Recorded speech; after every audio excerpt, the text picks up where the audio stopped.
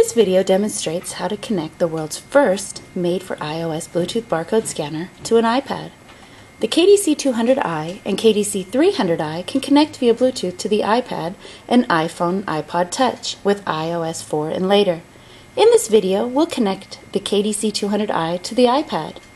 First, go to the iPad settings and confirm that Bluetooth is enabled.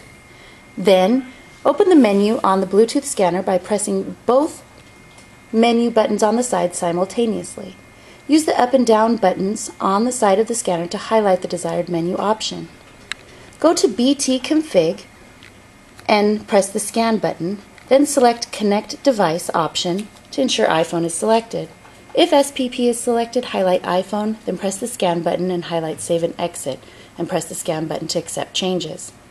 To configure a seamless Bluetooth reconnection, Make sure to change the following settings under the BT config menu. Auto Connect should be set to enable. Auto Power On should be set to enable. Power On time should be set to the desired seconds. In this example, we'll just use one second. Now we're ready to pair the scanner with the iPad. Go to the BT Service option and press the Scan button on the scanner to select the menu option. Then highlight the Discovering option and you should see the Discovering Started message on the scanner display.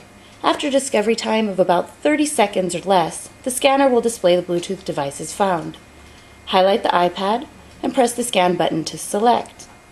The Bluetooth pin option menu will display. For this example, we're using the default pin, which is four zeros.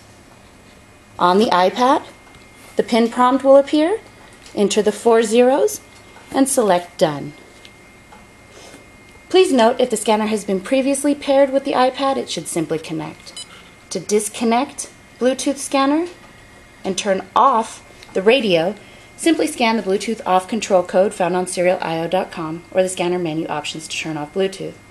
Since we've already set up the scanner for Bluetooth reconnection, you can press and hold the scan button until the scanner starts the connection. After a number of seconds, the Bluetooth scanner should connect. Now you can go into an app such as Grid in Hand Mobile Grid and begin scanning with your KDC 200i scanner. For more information, visit serialio.com. Thanks for watching.